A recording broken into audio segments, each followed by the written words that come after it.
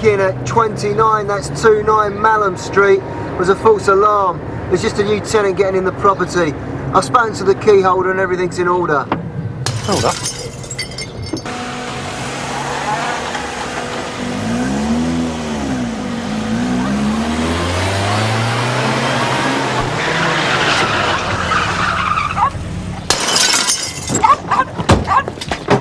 Wait, wait! What do you think you're doing? Hey! They shouldn't put these things here, you know. How are people supposed to get past? Yeah, she was smashing windows, so we brought her in for criminal damage. Right, name? Adela Thompson, Mrs. It's still Mrs. No one can change that. Do you know, even if I was single, I could still be called Mrs. There's no law against it. Middle names? Don't have any. Address? 24 Westerway Avenue.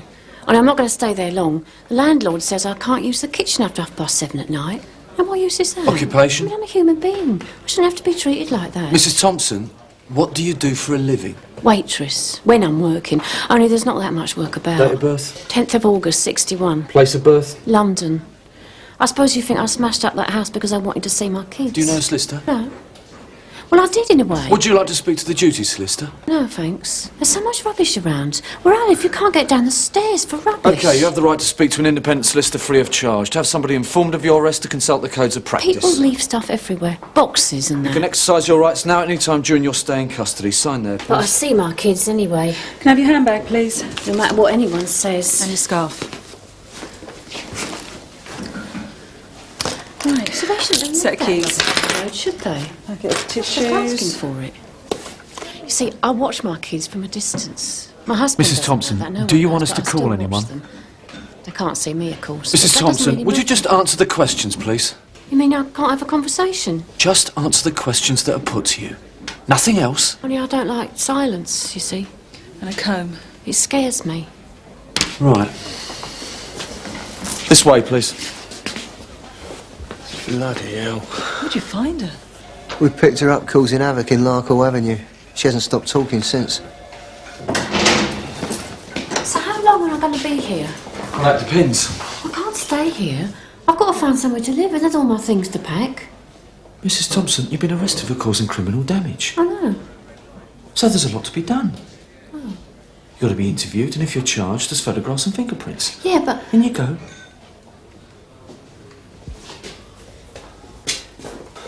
Crying. Do you know that? Who was? Graham Ballard.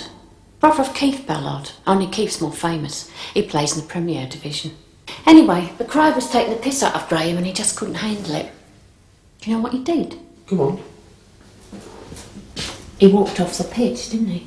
No substitutes, warming up, nothing. He just walked off. And they were down to ten men. What, you saw the match? No. I must have read about it somewhere. Anyway, You like football? Me? No. Mrs. Thompson, why do you talk so much? I have to. I have to talk. If I don't, I hear them. Hear who? The people talking in my head.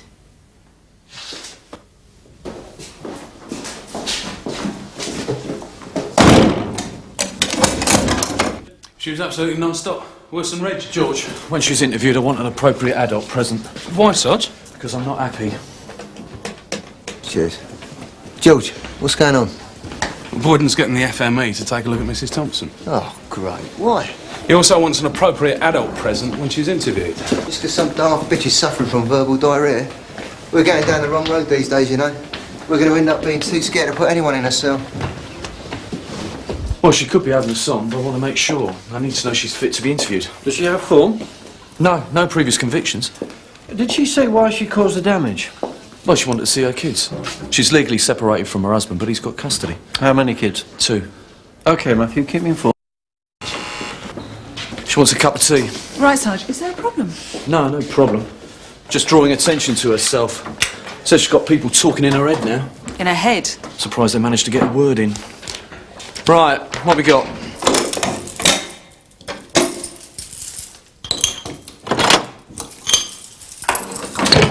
Mrs. Thompson, here's some tea for you. Oh, thanks. Anyway, what I was saying about watching my kids from a distance, it doesn't really matter because they're still my kids. They'll always be my kids. So let him do all the hard work if that's what he wants.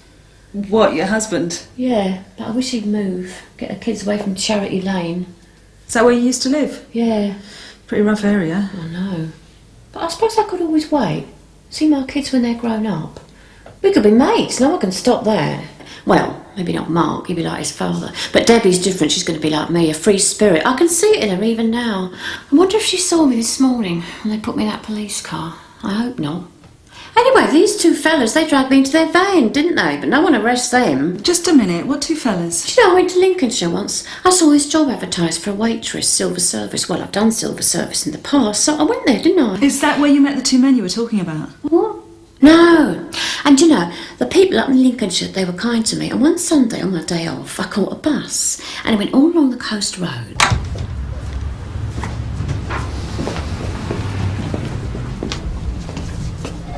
Oh, I've been told my wife's here. She was brought in about an hour ago. Uh, when you say brought in.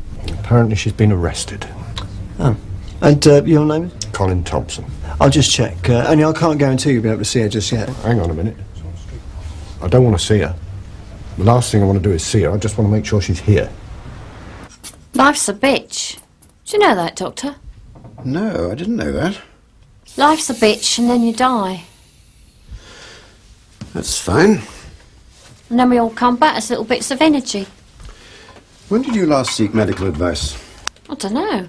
Well, when did you last feel unwell? I can't remember. And do you feel well at this moment? I never felt better. That's why I should be out of here, Doctor. I've got things to do. I've got to find somewhere to live. What about the people talking, Adela? What people talking? Well, you told Sergeant Boyden there were people talking inside your head. Did I? So why don't you tell the doctor about them? Yeah, but that's not being ill, is it? Anyway, they come and go. There's nothing I can do about them. And have you discussed this with anyone else? Like who? Like your GP? No. And is it happening now, that this talking in your head? Of course it is. Oh, only I don't listen, do I? It's only when I'm on my own sometimes I have to listen. And when these people talk, what do they tell you to do? Oh, they don't tell me anything. They're talking to each other all the time, aren't they? I just have to listen. Mr. Thompson, Yeah. I'm PC Garfield. Could I have a word, please? Through here.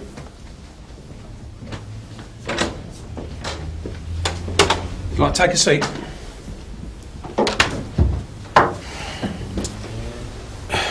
Your wife's been detained here. We're separated. Right. Uh, I've been told that you don't want to talk to her. That's right. I just want to make sure she's locked up and that she's no longer a threat to me and my kids. And that's the only reason that you're here. Yep. So you're not prepared to offer her any kind of help, only, well, they are her kids as well. Not anymore. Do you know the childminders packed it in? It was that business this morning that did it. Now I've had to take the day off work to look for another one. Where are the children now? They're staying with some friends. Right, well, the situation is that once all the necessary procedures have taken place, Mrs. Thompson may be charged with causing criminal damage. Then what? Lock her up? Well, it depends. Well, just you make sure she doesn't talk her way out of anything because she's good at that. I don't just mean telling lies. You see, Adela doesn't have to tell lies. Everything goes round and round in her head. I know, I've lived with it. And you can't believe a word of it. Is she having a song? There's always a possibility. Has she caused any trouble since she's been in custody? No. And there's the imaginary talking she says she hears. I can't work that one out. I mean, most schizophrenics experience auditory hallucinations. That's usually one's own thoughts spoken aloud, or they hear voices criticizing them. I know the feeling. But she says she hears conversations going on. Sarge, can we interview her now? The social worker's here. What about all my things? Because I don't trust that landlord. It's all my clothes and my tapes and all my aromatherapy oils. I still care about him, you know. Your husband? Yeah, I know I gave him the runaround, but that's the way I am. He should have known that. He should have made allowances for it. Adela. I'd like to ask you a bit more about the two men in the van. Oh, not that again. Was it something you heard? Yeah. So it wasn't something that happened to you? No. Well, where did you hear it then? I don't know. In your head again, I suppose. That's right, in my head. That's just an easy way out for you, isn't it, Adela? I'm beginning to realise that. Look, don't have a go at me. Well, what did the two men say? They threatened me, didn't they? How did they threaten you? They said they was going to take me to Coates Communal. That's what it sounded like. And I was frightened. Really frightened. I thought they was going to kill me. Sarge, Mrs. Thompson, she just said something odd. There's a surprise. No, one of these conversations she reckons she's been hearing could connect with a couple of serious crimes. Really? What crimes? Two separate incidents where women were abducted, taken to Coates Common, then assaulted. I assisted Sergeant Greig with the investigation. So? If we're to believe Mrs. Thompson, the men responsible are busy talking about it. What? Yes, Sarge, in her head.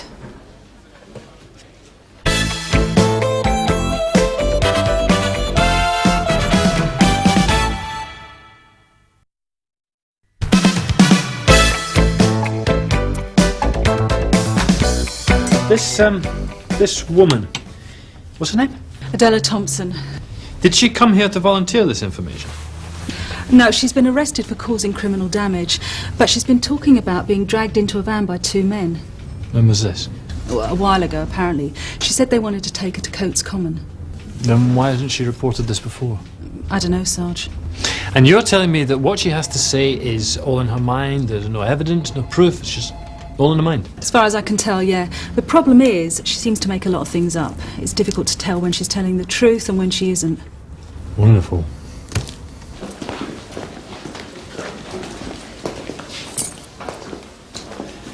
Norika seems to think that Mrs. Thompson may have some, uh, well, some unorthodox information. How do you mean unorthodox? I wouldn't ask if I were you, sir. Mrs. Thompson? I'm Detective Sergeant Greig. Do you mind if we have a chat? No. You already know Miss Davis, who was present at your interview. Yeah. You understand that she's here to protect your interests. Yeah. This conversation won't be taped on this occasion. We're interviewing Mrs. Thompson as a witness. I see. Thank you.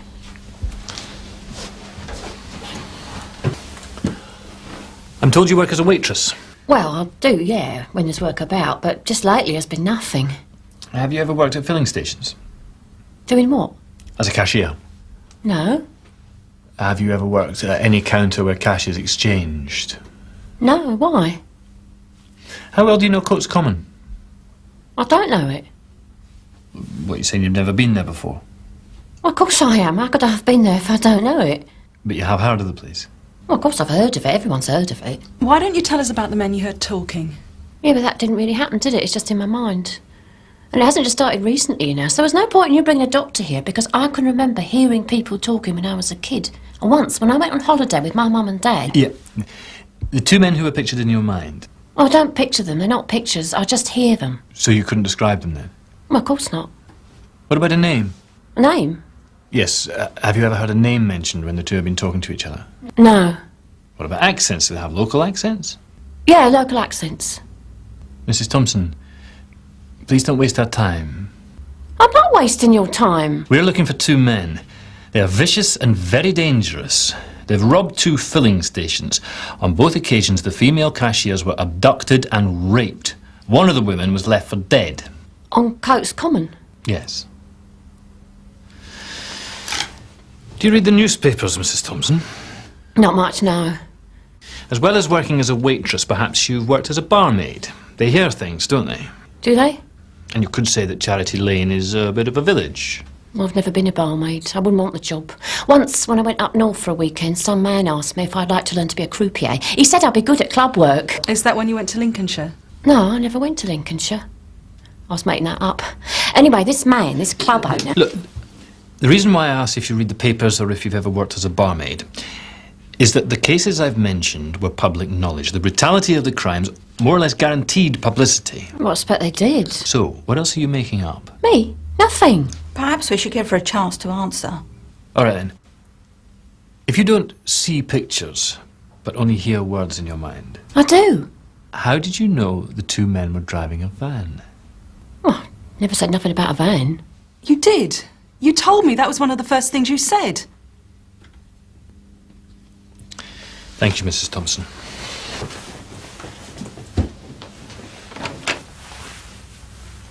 So what's going on, Sarge? I wish I knew. You're not going to pay any attention to anything she says, are you, Sarge? I mean, Jules says even her old man told him not to believe anything. You paid him a visit, did you? No, he's here. Doing what? Nothing. He's waiting to see what we're going to do with her. He doesn't want to see her. He just wants to make sure she's out of the way. Well, can you blame him? What's wrong, George? Oh, I don't know, Sarge. Just something about the bloke that I'm not sure of.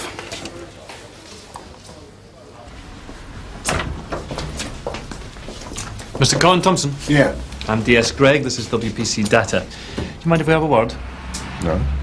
This way, please.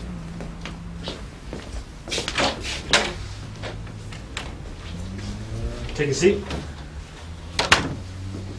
I understand you're here because of your wife, Adela Thompson. Yeah, only she's not my wife anymore. I got rid of her about three months ago. Do you mind if I ask you a personal question, Mr. Thompson? What? Why did you and Adela split up? What's that got to do with anything? It might help us understand things. Understand your ex-wife. All right then, I couldn't keep up with her. She wanted to talk all the time about anything. And I've got better things to do than sit around the house talking. You're saying you split up just because she talked? Yeah. And for no other reason?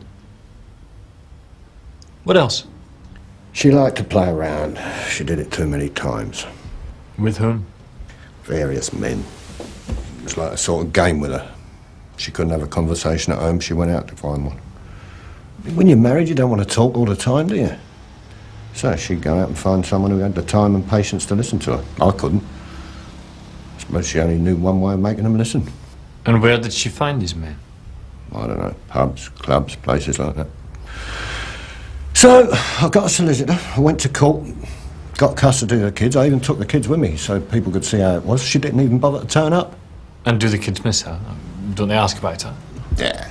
The only thing they miss is when she used to tell them stories. She was good at that. I believe you live in the Charity Lane area. Yeah, I do. What do you do for a living?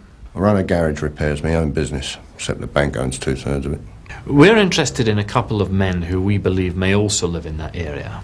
They drive a white transit van. Just under four months ago, they committed two very serious crimes against women. Obviously, we're interested in finding these men. Of course, it's possible that they may already have got rid of the van. They may even have left the Charity Lane area. Would you by any chance know these men, Mr. Thompson?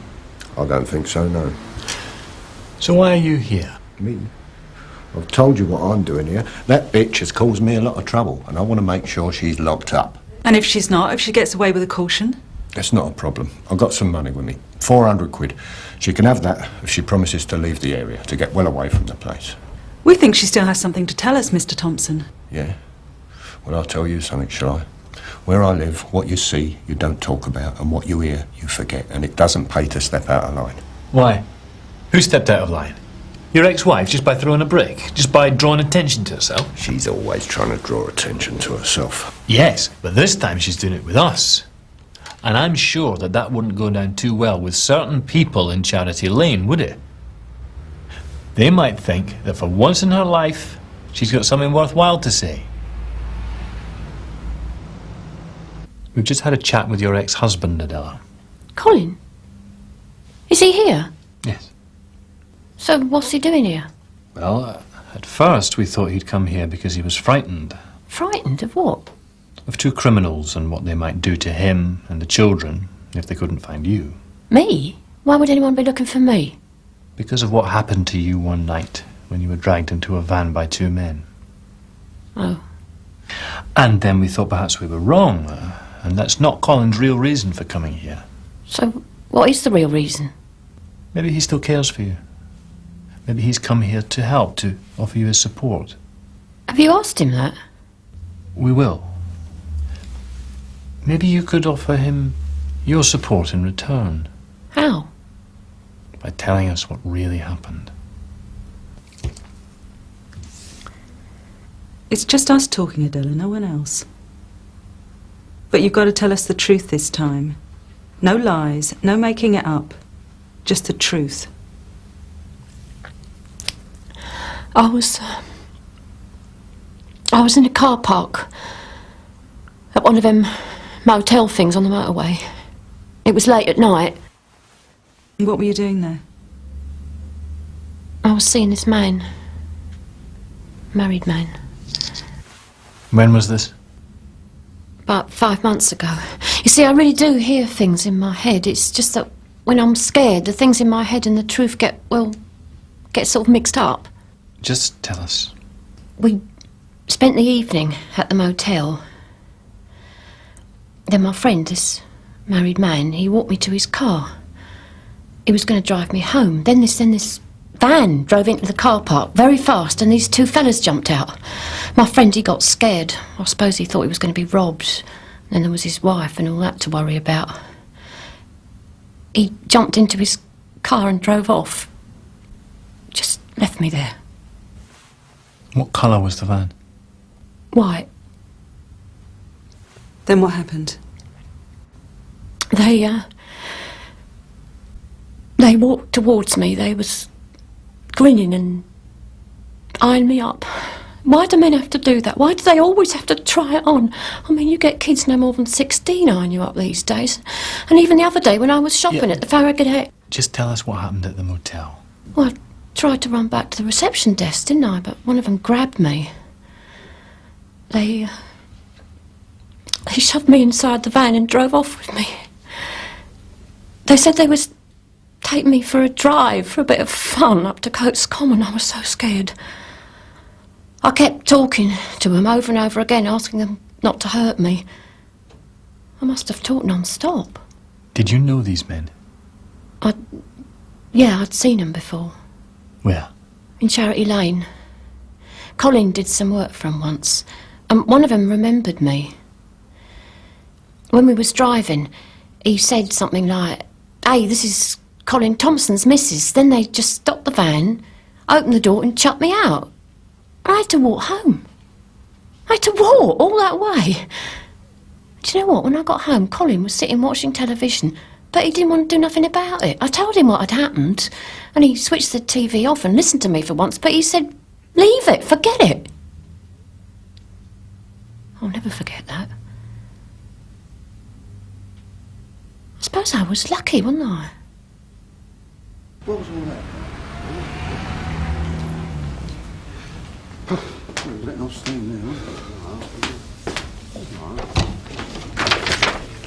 Mr. Thompson, could we have another word, please?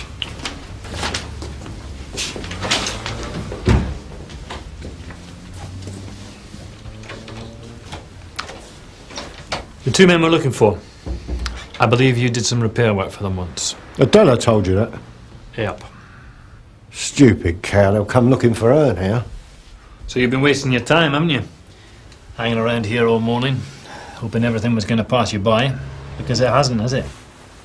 You see, it doesn't work that way. As far as those two fellas are concerned, she's still Colin's missus. And if they can't find her, they're probably going to come looking for you, right? So what do I do? Well, for a start, you don't have to pay your wife 400 quid to keep her safe. Hang on to it, buy the kids something. All you have to do is give us a couple of names.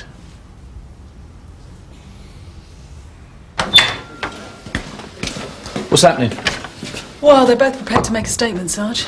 Well, that's togetherness for you, isn't it? You know what I think sometimes? In my head? What? Well, the real reason why those men let me go. You said it was because they knew your husband. Yeah, but I think there was another reason. On the way to Coates Common, I think I got on their nerves. I think I was talking too much.